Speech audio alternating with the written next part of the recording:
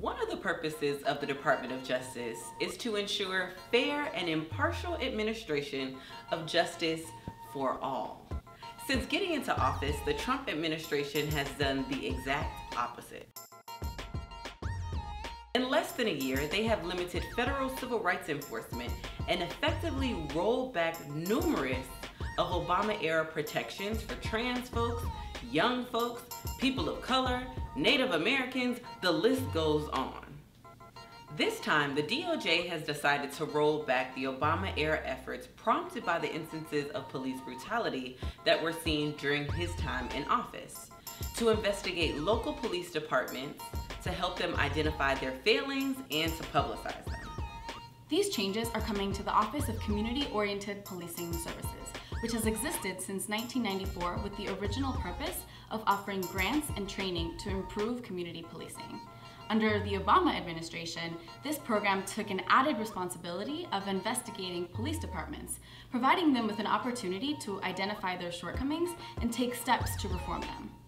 As of September, the DOJ has redirected the priorities of the COPS office to focus on technical assistance to police, outlining 14 assistance areas that include improving officer wellness, policing mass demonstrations, and reducing gang violence.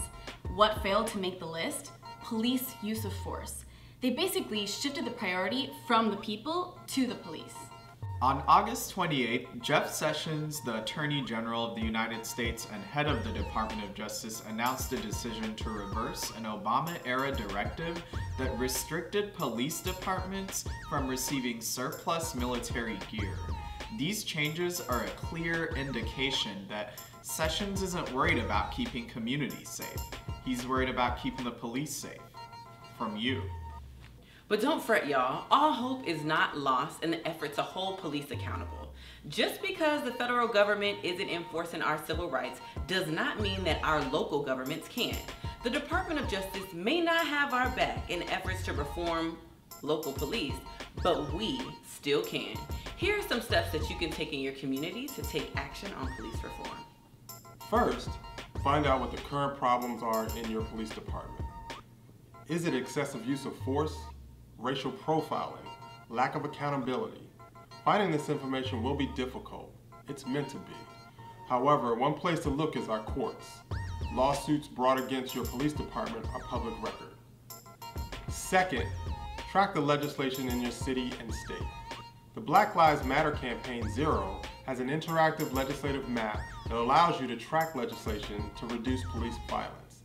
You can click on your state to see the names of the bills, their status, and contents. And lastly, all the people in charge of reforming your police department are elected officials. They should report to you.